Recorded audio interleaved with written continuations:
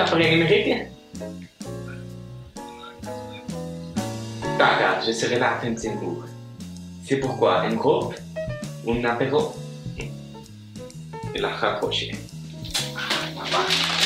Mais attends, ce n'est pas un journal allemand, c'est néerlandais. Ah,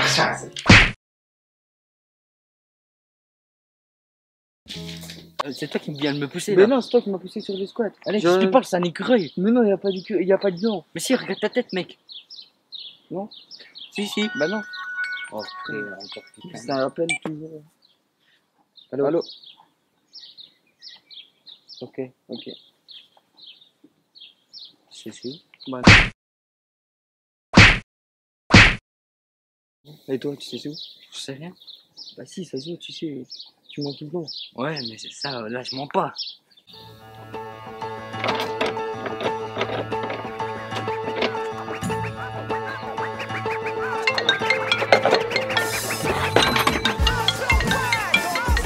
Allô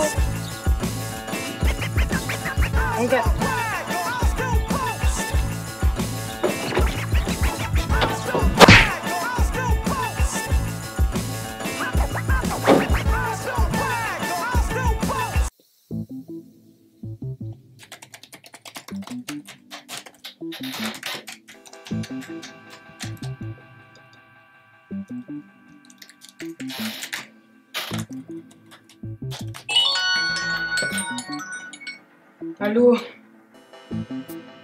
Ok, c'est bon, je te laisse.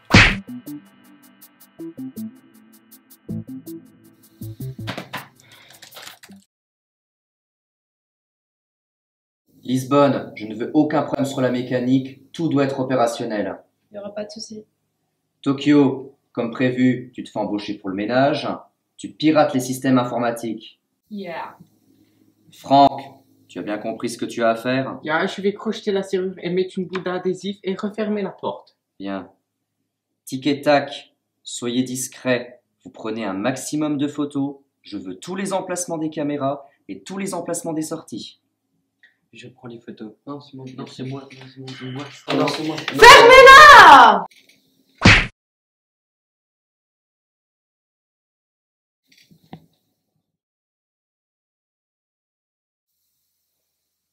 moi. Gustave Courbet, artiste peintre, je refuse de laisser enfermer ma jeunesse dans un musée. Tu dois récupérer cette toile. Tu as trois jours. Oui, monsieur Courbet.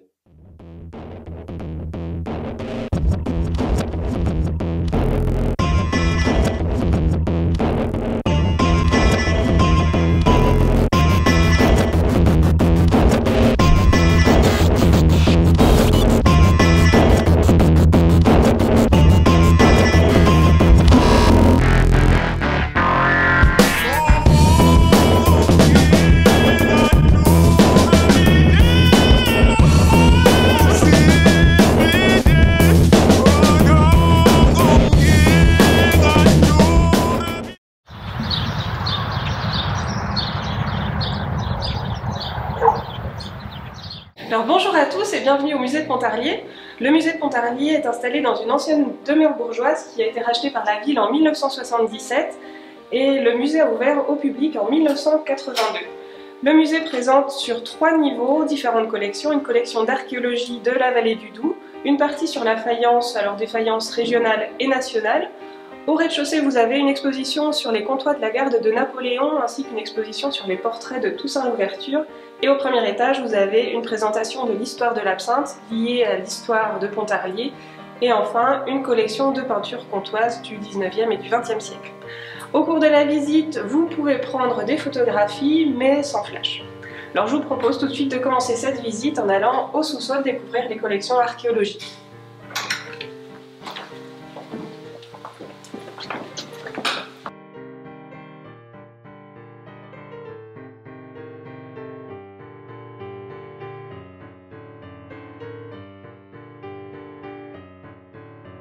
Alors dans cette vitrine sont présentés les harnachements d'un cheval, ce qui signifie que la personne qui était enterrée là, c'était une personne très importante de la communauté qui avait les moyens de s'acheter et d'entretenir un cheval. Ça reste exceptionnel pour euh, les tombes trouvées à Doubs, tandis que c'est assez courant dans les tombes germaniques. On Germanique Oui, Ah, good, good. ça montre justement un lien entre euh, le, le Haut-Doubs, enfin ce qu'on appelle aujourd'hui le Haut-Doubs, et les peuples euh, germaniques plus au, au nord de l'Europe et à l'est de l'Europe.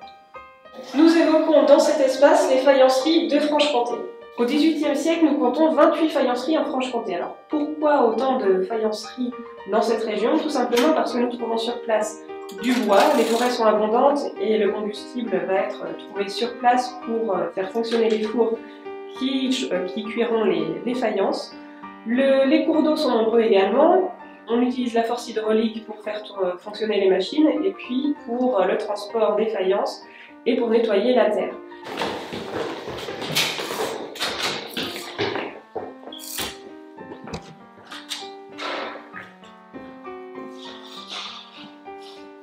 Le support privilégié euh, des, producteurs d'absinthe pour vendre leur absinthe reste les affiches publicitaires. Alors les affiches publicitaires, nous en avons une belle collection au musée de Pontarlier.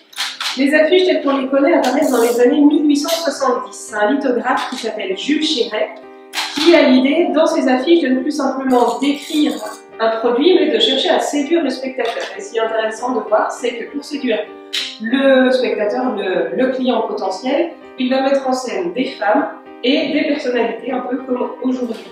Donc ici nous avons quelques exemples. Alors, pour plaire à une clientèle masculine, on va plutôt mettre en avant des femmes dénudées, voire complètement nues. Ici on a l'absinthe Robette, une femme nue euh, juste habillée d'un voile. Ici une femme avec un grand décolleté, les épaules nues. Voici l'œuvre maîtresse des collections de peinture, cet autoportrait de Gustave Courbet. C'est un autoportrait de jeunesse, il l'a peint à 23 ans en 1842 et il se représente avec son petit chien, petit chien qu'on retrouvera dans nombreux de ses tableaux par la suite. Alors cet autoportrait, je vous le disais, c'est la pièce maîtresse des collections et nous avons beaucoup de chance de la voir aujourd'hui car elle est régulièrement empruntée par d'autres musées, elle voyage beaucoup et ce n'est pas toute l'année que nous pouvons la présenter au public. Cette toile d'André Rose date de 1929 et représente un arracheur de gentiane. C'est un métier saisonnier entre juin et octobre. Les arracheurs de gentiane arrachent la racine de la plante pour la vendre et en faire de la liqueur de gentiane qui est connue dans le monde. Ces vitrines présentent l'équipement de l'infanterie de la garde de Napoléon. Nous avons ici deux sabres briquets. Le, nom briquet vient de la taille de ces sabres qui est petit. Étymologiquement, briquet signifie euh, petit, avec leur fourreau. Ici, nous avons un fusil à silex et baïonnette. Alors, ces fusils sont euh, extrêmement rares actuellement. Il en reste 30 à 50 exemplaires parce qu'ils étaient très fragiles. Il y en a eu plus de 10 000 produits, mais euh, ils ont été très abîmés au cours, du temps. Nous avons ici une- un silex qui permet, avec la partie métallique, de créer une étincelle qui va mettre le feu aux poudres. La partie baïonnette était préférée par les soldats parce qu'on la mettait euh, au bout donc, du fusil et ça permettait des combats rapprochés, moins dangereux pour la personne qui tenait l'arme que s'il utilisait la partie euh, avec la poudre. Artoun, Artoun, c'est dangereux les armes. Ah oui, très très très dangereux. On voit ici que tout- toutes les collections sont euh, extrêmement, extrêmement rares. Tous ces objets présentés étaient très fragiles et donc euh, il n'en reste plus beaucoup. Voilà, la visite est terminée. Euh, J'espère qu'elle vous a été agréable et je vous souhaite une bonne journée. On a trouvé les caméras de la salle 3. Une ici et une ici. Très bien. Vous avez rien oublié? Oui, on Oui, a on a rien oublié. Vous êtes sûr? Oui. Franck, J'ai réussi à ouvrir la porte avec succès. très bien. J'ai réussi à me connecter sur les systèmes informatiques. Parfait. Lisbonne, tu nous prends demain à 10h. À 10h, je serai là. On est opérationnel? Ya. Ouais. C'est parti. Ok.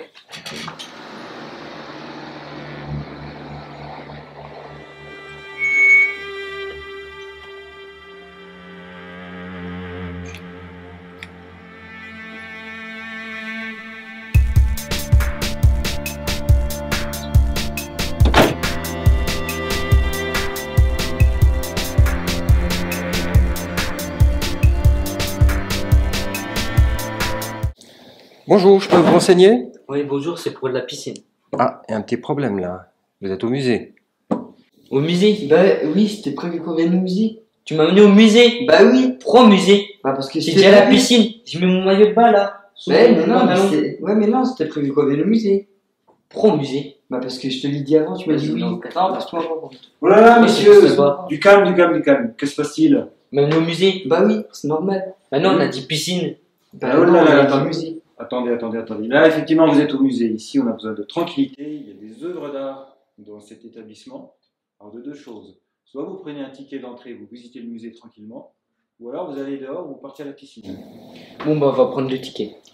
Alors, prenez deux places.